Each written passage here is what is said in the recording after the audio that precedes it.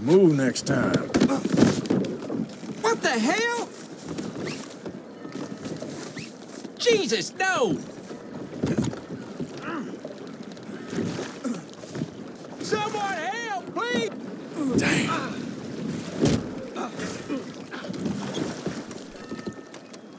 Enjoy the peace and quiet.